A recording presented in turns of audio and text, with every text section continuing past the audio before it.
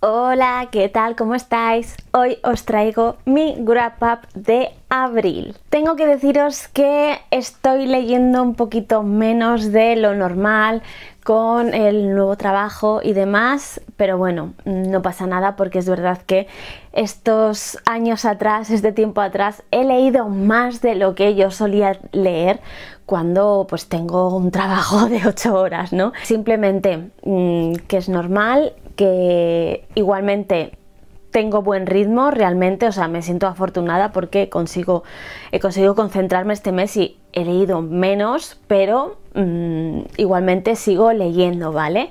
Entonces, bueno, simplemente eso, que lo sepáis, que bueno, que no rayes con el tema de las lecturas, de cuánto hay que leer, de eh, todo esto, porque cada uno lee a su ritmo y es verdad que yo a veces... Em, sí que me preocupo, en plan, si leo poco no voy a poder grabar vídeos, ¿no? Creo que es algo en general que eh, los creadores de contenido, la gente que tenemos cuentas en YouTube, Instagram, TikTok, demás, hablando sobre libros, ¿no?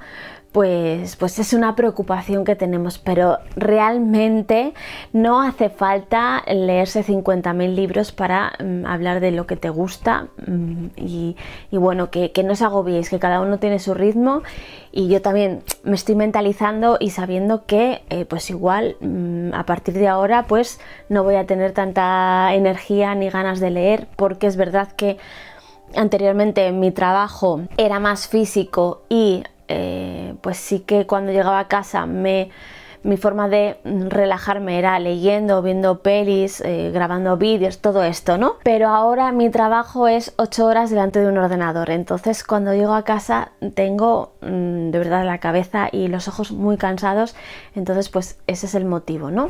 Pero bueno, perdón por la chapa, por esta intro tan larga. Comenzamos y os cuento qué he leído en abril. Comienzo con una novela que tenía pendiente desde hace bastante en mis estanterías de la editorial Valdemar del Club de Diógenes y es Arañas de Marte de Guillem López. Lo compré hace ya unos cuantos años, lo tenía muy pendiente a este autor en el Festival 42 de Barcelona del año pasado, pues coincidimos, ¿no? Del año pasado, no sé en qué año vivo, eh, pues estaba allí, ¿no? Porque había publicado, no sé si antes o después, bueno, hay un libro suyo publicado recientemente, no recuerdo, de runas creo que es, sí, ¿no? Y, bueno, he tenido varias ocasiones para comprarlo, pero pensé, si es que todavía no me he leído el que tengo en casa y si luego no me gusta, me lo podía haber comprado porque me ha flipado mucho esta historia, de verdad, o sea, mi mierda total. Así que creo que estoy en una situación de descubrimiento de autor nuevo, me encanta, quiero leer todo lo que haya escrito entonces, pues, pues próximamente me veréis por aquí hablando de alguna de, sus novelas más, ¿vale? Me ha gustado muchísimo, de verdad. Eh, he subrayado un montón de frases que me han encantado, eh, muy inspiradora. La ambientación de la historia, lo que cuenta, eh, los personajes, todo es que es muy yo. Entonces estoy muy feliz con esta historia, de verdad. no sé, me gustaría hablar más en profundidad, pero fijaos lo que os digo, que incluso lo mismo hago un vídeo recomendación del autor cuando haya leído algunas más de sus obras, ¿vale? Porque de verdad mm, ha sido todo un descubrimiento, me ha encantado. Como venía de una historia tan intensa, pensé, es el mejor momento para leerme el segundo de Blackwater, ¿vale? Y así fue. El dique, el segundo volumen de Blackwater. Me ha gustado muchísimo como el primero, o sea, es que es es un pasapáginas, es, eh, es, también un ambiente muy a gustito. Los personajes pues les vas cogiendo cariño y tirria a la vez y es como, ah, madre mía, señora, señora, cállese ya. Y seguramente mm, de los personajes entre la madre y la hija, si lo habéis leído sabéis de quién hablo, va a acabar muy mal la cosa. Yo tengo, o sea, tengo certezas de que la cosa va a acabar muy mal, ¿vale? Y, nada, no sé, mm, muy guay esta saga. Que yo no sabía que el autor de esta saga es el mismo que el de Los Elementales, que es una novela que tengo apuntada porque a Silver le encantó en su momento, la tengo, la tengo en mi lista de deseos, ahí en plan, no sé, pues es de estos libros que lo tienes apuntado y va pasando otros y y lo dejas ahí apuntado, ¿no? Pero ahora ha subido en mi ranking de, próximas compras o próximas lecturas, ¿vale? Como ya os dije en la NoteBR de Mayo Sci-Fi, había una novela que os dije, cuando esté subiendo este vídeo seguramente ya la haya leído y así fue. Os hablo de La hija del doctor Muro de Silvia Moreno García, ¿vale? Por una parte, esto ya lo hablé en uno de los blogs del Patreon, ¿vale? Por una parte, tenía que ser la novela que más me gustase de la autora, ¿vale? Al final de la historia las impresiones han sido positivas y no descarto volver a leer esta novela en un futuro porque siento que ha habido algo que me ha lastrado un poco toda la lectura, ¿vale? Un tema de personajes y relaciones de personajes que yo pensaba en mi cabeza, eh, Silvia, te estás metiendo en un jardín que no sé cómo vas a salir, pero ha salido muy bien. O sea, yo cuando grabé el blog y comenté que no me estaba gustando un poco porque se estaba centrando mucho en una parte de la novela, en una dinámica entre tres personajes, entre los dos intereses amorosos de la protagonista, pero en realidad no es así, ¿vale? Porque, mm, claro, bueno, esta historia está contada a dos voces, en tercera persona, pero contando las perspectivas de dos personajes.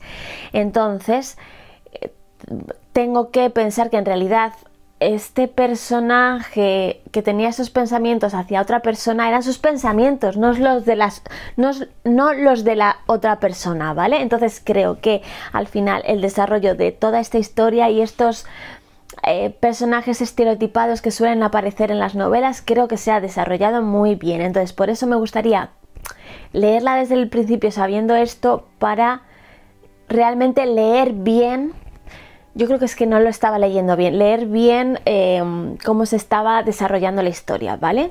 Vale, eso por una parte. Entonces, bueno, eso como que me ha lastrado un poco la historia, que no, no he tenido tanta hype como el resto de historias y me ha decepcionado un poco en ese sentido porque pues era yo creo que la historia que más ganas tenía de la autora por el homenaje a H.G. Wells, ¿vale?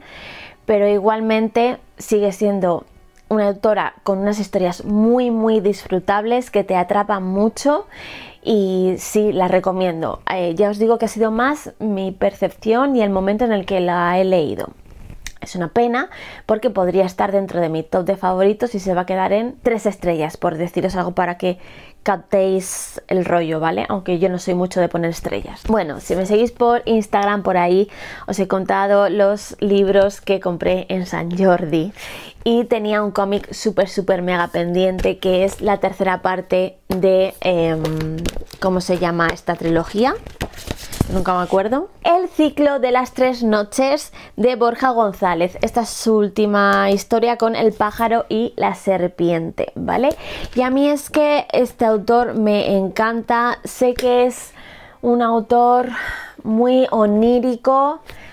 Eh, podría decirse que, mm, que es verdad que tú acabas la historia como que que lo que quiere contar eh, hay mucho que cuenta entre líneas, ¿vale? Me pasa un poco como con Laura eh, Peláez, pero es que a mí me encanta, de verdad, o sea, es entrar en sus páginas, eh, en sus bosques y disfruto una barbaridad.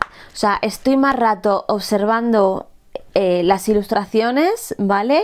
Y, y las metáforas de, de lo que está dibujando que, leyendo la historia, ¿vale? Eh, no sé, me, gusta mucho, me gusta mucho Borja González y además resulta que ha ilustrado la portada de la última novela de Marina Tenatena, ¿vale? O sea, el tándem es una cosa, o sea, sí, no podéis publicar libros porque es que, o sea, nos dejáis pobres, no puede ser. Y ya, para terminar el mes y dar la bienvenida al Mayo Sci-Fi, que tengo que deciros que voy bastante mal, pero bueno, no pasa nada. Me leí un pendiente que tenía de Laura S. Maquilón, la autora de Concierto en Sol Menor, publicado por Crononauta, y en el Festival 42 la compré esta novelita que es El pasado es un cazador paciente, publicada por Sportula, creo que se dice así, y es que me viene dedicada por ella, ¿vale?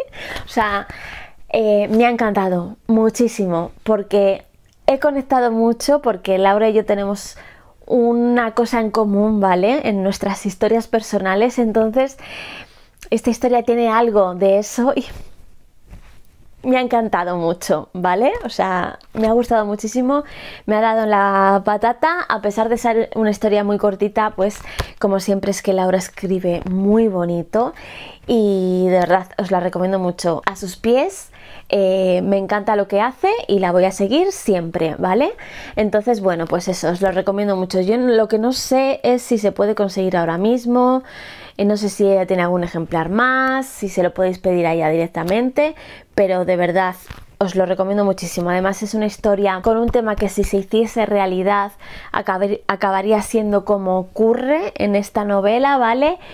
Y tengo que deciros que hay como elementos en esta historia que tienen bastante similitud a una historia, a un relato que escribí yo de viajes en el tiempo que lo tengo a medias, ¿vale? Y que, bueno, no, hay uno que escribí que lo tengo terminado y otro que se basa un poco en ese universo que lo tengo a medias, pero uno es verdad que lo tengo terminado ya, vale.